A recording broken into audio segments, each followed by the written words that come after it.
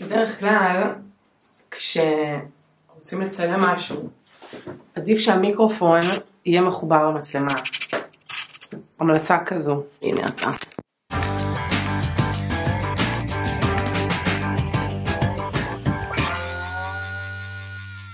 בוקר גשום, אנחנו ממשיכים עם The Wave. קראנו את הפרק הראשון ואת הפרק השני. לפני שאני מתחילה עם הפרק השלישי, אני מזכירה לכם לשים לי עוקב, זה מאוד מאוד עוזר לי, זה גם מאוד עוזר לכם. ספרו לחברים שלכם עליי, אם אני יכולה לעזור להם גם באנגלית, במבחנים, במה שהם צריכים, בשביל זה אני פה. Chapter 3 David Collins was sitting in the outdoor courtyard next to the cafeteria, אני מזכירה דיוויד, זה החבר של לורי סונדרס, הכוכבת שלנו. He had already wolfed down half his lunch by the time Laurie arrived. and he was beginning to feel like a normal human being again. He watched Laurie put her tray down next to his, and then noticed that Robert Billings was also headed for the courtyard. Robert Billings, a loser הכיתתי. Hey, look, David whispered as Laurie sat down. They watched as Robert stepped out of the cafeteria, carrying a tray, looking for a place to eat. True to form, he had already started eating and stood in the doorway with half a hot dog sticking out of his mouth. There were two girls from Mr. Ross's history class sitting at the table Robert chose. As Robert sat his tray down, they both stood up and took their trays to another table. Robert pretended he hadn't noticed. דמיינו לכם את הקפיטריה של הבית ספר, כזה כמו בסרטים, לורי ודייוויד והחברים שלהם יושבים מן הסתם במקובלים כזה, ורוברט בילינגס עם הנקניקייה חצי בפה שלו הולך ומתיישב באיזשהו שולחן שיש בו שתי בנות וברגע שהוא מתיישב הן קמות והולכות. לא יפה, לא חברי. David shook his head. Gordon High's very own untouchable, he mumbled. Do you think there's something really wrong with him? Laurie asked. David shrugged. I don't know. He's been pretty strange for as long as I can remember. Then again, if people treated me like that, I'd probably be pretty strange too. It's just weird that he and his brother could come from the same family. תזכורת, Robert Billings, יש אח גדול, יש לו אח גדול, ג'ף בילינגס אם אני לא טועה, והוא היה סופר סופר סופר מוצלח, פופולרי, ספורטאי, תלמיד מדהים, ורוברט בדיוק להפך, וזה כאילו מדהים שהם הגיעו מאותה, מאותה משפחה. Did I ever tell you that my mother knows his mother? Laurie asked. His mother ever talk about him? David asked. No, except I think she told me once that they had him tested and he really does have a normal IQ. He's not really dumb or anything. Just weird, David said, and went back to eating his lunch. But Laurie only picked at hers. She seemed preoccupied. לורי מספרת שאימא שלה ואימא של רוברט בילינגס מכירות אחת את השנייה והיא בדרך כלל לא מדברת עליו אבל היא כן יודעת ש... כאילו הלכו ועשו לו אבחון כזה, והוא יצא תקין, יצא לו איי-קיו תקין, והוא כאילו הכל סבבה איתה, הוא פשוט משונה. לורי גם לא כל כך מתעניינת באוכל שלה, היא די כזה לא אוכלת, היא כנראית uh, כאילו דעתה מוסחת. What is it? David asked. The film, David, Laurie answered. It really bothers me. Doesn't it bother you? David thought for a moment. Then he said, Yeah, sure. As something horrible that happened once. It bothers me. But that was a long time ago, Laurie. To me, it's like a piece of history. You can't change what happened then. But you can't forget it, Laurie said. She tried a bite of her hamburger, then made a face and put it down. Well, you can't go around being bummed out about it for the rest of your life either, David said. He eyed Laurie's uneaten hamburger. By the way, you're gonna eat that? Laurie shook her head. The movie had left her without much of an appetite. Help yourself. Not only did David help himself to her hamburger, he finished off her fries, salad, and ice cream as well. Laurie looked in his direction, but her eyes were distant. Hmm, David wiped his lips with a napkin. Would you like anything more? Laurie asked. Well, to tell you the truth, hey, is this it taken? Someone behind them said. I was here first, said another voice. David and Laurie looked up to find Amy Smith and Brian Ammon, the quarterback, both heading for their table from opposite directions. אז לורי עדיין מאוד עסוקה עם הסרט, הסרט מאוד מטריד אותה, אין לה תיאבון, ודייוויד מצד שני אומר וואלה כן, מטריד, הסרט מטריד, אבל אני לא אתעסק בזה עכשיו, זה היה, זה היסטוריה, זה נגמר. ואז הוא אוכל את כל האוכל כי הוא רעב מאוד, ופתאום מגיעים שני החברים האחרים שלנו, אימי ובריאן. בריאן זה החבר של אימי, אימי חברה מאוד מאוד טובה של לורי, שתיהן תלמידות כאלה סופר טובות. What do you mean you were here first? Brian asked. Well, I meant I wanted to be here first, Amy replied. Meaning to be first doesn't count, Brian said. Besides, I have to talk to Dave about football. And I have to talk to Lori, Amy said. What about? Brian asked. Well, about keeping her company while you talk about boring football. Stop it, Lori said. There's room for two. But with them, you need room for three, Amy said, nodding at Brian and David. Hardy har har, Brian grunted, שזה כאילו חככה, באנגלית, okay. David and Lori slid over, and Amy and Brian squeezed in next to them at the table. Amy was right about room for three. Brian was carrying two full lunch trays. אז כמו דיוויד, גם בריאן כאילו אוכל מלא. ככה זה טינג'רים, בנים, אתם כל הזמן אוכלים. Hey, what are you doing with all this food? David asked, patting Brian on the back. Although he was the team's quarterback, Brian was not very big. David stood a full head taller than him. I gotta gain some weight, Brian said as he started to wolf down his lunch. I'm gonna need every pound I've got against those guys from Clarkstown on Saturday. They are big, I mean huge.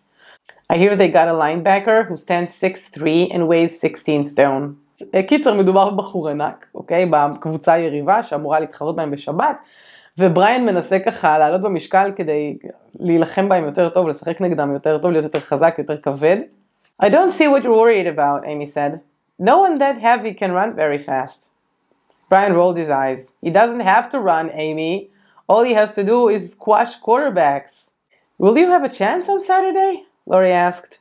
She was thinking about the story they would need for the grapevine. David shrugged. I don't know. The team's pretty disorganized. We're way behind on learning our plays and stuff. Half the guys don't even show up for practice. ועכשיו אנחנו מקבלים נקודת מבט על הנבחרת פוטבול שלהם, אוקיי? יש להם משחק בשבת, הם כנראה יפסידו בו. לורי מתעניינת בגלל שהיא צריכה לכתוב על זה בעיתון. ובעצם דיוויד אומר שהם מפסידים כי הם נורא לא מאורגנים, הקבוצה לא, לא מאורגנת, אנשים לא מגיעים ל-practices, ובאופן כללי יש שם חוסר רצינות. Yeah, Brian agreed. Coach Schiller said he was gonna throw anyone who didn't show up for practice off the team, but if he did that, we wouldn't even have enough guys to play. No one seemed to have anything more to say about football, so Brian bit into his second hamburger. David's thoughts drifted to other pressing matters. Hey, is anyone here good at calculus? Calculus the חשבון כזה. Why are you taking calculus? Amy asked. You need it for engineering, David said. So why not wait till college? Brian asked.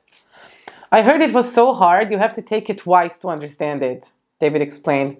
So I figured I'd take it once now and once later. Amy nudged Laurie. I think your boyfriend is strange, she said. Talk about strange, Brian whispered, nodding towards Robert Billings. They all looked. Robert was sitting alone at his table, engrossed in a Spider Man comic book.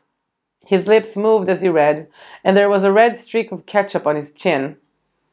You see him sleep through the whole movie? Brian asked. Don't remind Laurie, David told him. She's upset. What, about the movie? Brian asked. Laurie gave David a dirty look. Do you have to tell everybody? Well, it's true, isn't it? David asked. Oh, just leave me alone, Laurie answered. I can understand how you feel, Amy told her. I thought it was just awful. Laurie turned to David. There, you see? I'm not the only one that is bothered. Hey, David said defensively. I didn't say I wasn't bothered by it. I just said it's over now. Forget about it. It happened once and the world learned its lesson. It'll never happen again. I hope not, Laurie said, picking up her tray. Where are you going? David asked her. I have to go and work on the grapevine, Laurie said. Wait, Amy said, I'll go with you. David and Brian watched the two girls go. Gee, she really is upset about the movie, isn't she? Brian said. Yeah, David nodded. You know, she always takes stuff like that too seriously. אז בשיחה הזו הכרנו טיפה יותר את איימי ואת דיוויד ואת בריאן. Uh, שוב הם חזרו לנושא הזה של הסרט, הבנות מוטרדות, הבנים לא כל כך. הבנו את המצב של uh, קבוצת הפוטבול. והבנות הולכות לעבוד על, ה, על העיתון, לורי הולכת יותר נכון לעבוד על העיתון, אימי מצטרפת אליה, הבנים נשארים שם. Smith and Laurie Saunders sat in the Grapevine office talking. Amy wasn't on the newspaper staff, but she often hung out with Laurie in the publications office. The office door could be locked, and Amy would sit inside by an open window, holding a cigarette outside and blowing the smoke out. If a teacher came in, she could drop the cigarette to the ground, and there would be hardly any smell of smoke in the room. אז אימי הפושטקית, הן יושבות בתוך ה-publications office, המשרד של העיתון, אפשר לנעול את הדלת, אז הן נועלות את הדלת ואימי יושבת ליד החלון, מעשנת סיגריה, ואם פתאום יגיע איזה מורה, ידפוק בדלת, היא טיק טק זורקת את הסיגריה מהחלון, וכאילו בקושי מרגישים שמישהו עישן שם. אל תלמדו That was an awful movie, Amy said. Laurie nodded quietly. Are you and David having a fight? Her friend asked. Ah, oh, not really. Laurie couldn't help smiling slightly. I just wish you could take something besides football seriously. He's, I don't know, he's such a jock sometimes. Jock זה כאילו ספורטאי כזה, אבל זה כאילו כינוי... זה חצי כינוי גנאי כזה לספורטאי, לטינג'רים שהם רק כאילו טראח, רק בספורט ולא ממש אכפת להם משום דבר אחר. But he gets good grades, Amy said. At least he's not a dumb jock like Brian. The two girls giggled for a moment, and then Amy asked, Why does he want to be an engineer? It sounds so boring. He wants to be a computer engineer, Laurie said.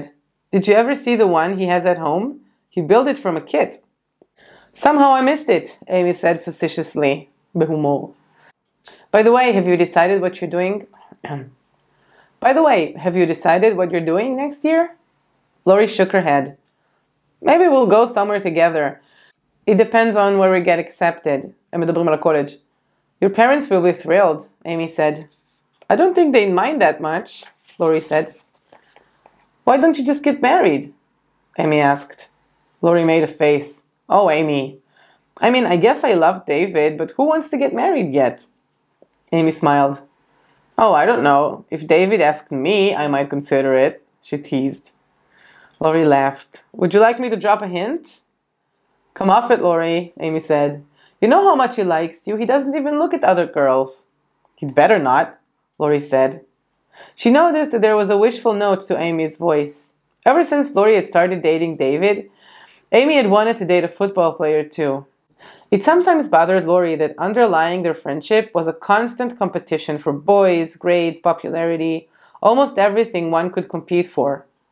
Even though they were best friends, that constant competition somehow prevented them from being really close. הן מדברות בחצי צחוק על מה לעשות אחרי התיכון, אין להם צבא מן הסתם, הם הולכים ישר לקולג' ואימי ככה זורקת חצי בצחוק, למה שלא תתחתנו, את ודייוויד, ואימי, ו... ולורי אומרת לה, למה פתאום, מי מתחתן עכשיו, עזבי אותי.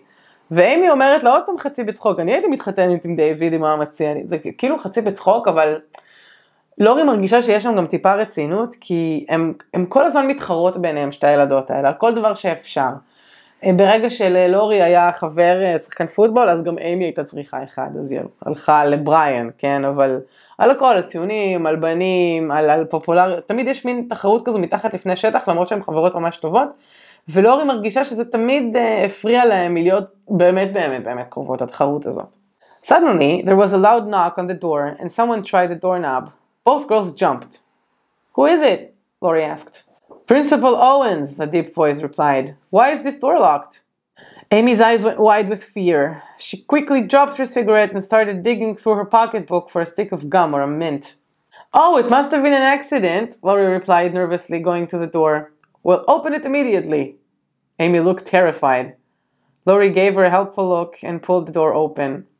Outside in the hall were Carl Block, the Grapevine's investigative reporter, and Alex Cooper, the music reviewer. They were both grinning. עבדו עליהם, קיצר, הם אמרו להם אני המנהל, תפתחו תפתחו למה זה נעול, וזה היה שניים, שני חבר'ה מהצוות של העיתון. Oh, you too, Laurie said angrily. Behind her, Amy looked as if she was going to faint as the two biggest practical jokers in school stepped into the room. Carl was a tall, thin guy with blonde hair. Alex, who was stocky and dark, was wearing earphones connected to a small tape player. Something illegal going on in here? Carl asked slyly making his eyebrows bounce up and down. You made me waste a perfectly good cigarette, Amy complained. Tisk tisk, Alex said, looking on disapprovingly. So how is the paper coming? Alex asked. What do you mean? Laurie asked in exasperation. Neither of you has handed in your assignments for this issue. Uh oh. Alex was suddenly looking at his watch and backing away towards the door. I just remembered I have to catch a plane to Argentina. I'll drive you to the airport, Carl said, following him out the door. Laurie looked at Amy and shook her head wearily. Those two, she mumbled, making a fist. סיימנו את הפרק השלישי, אני רק ככה אה, בשתי מילים. פגשנו את שתי דמויות, קארל ואלכס, הם לא סופר חשובים, אבל עוד נפגוש אותם קצת, הם אה, חלק מהצוות של העיתון, הם כאלה ג'וקרס כאלה, הם, הם, הם עושים שטויות ולא ממש רציניים, אבל הם חלק מהעיתון וצריך להכיר אותם.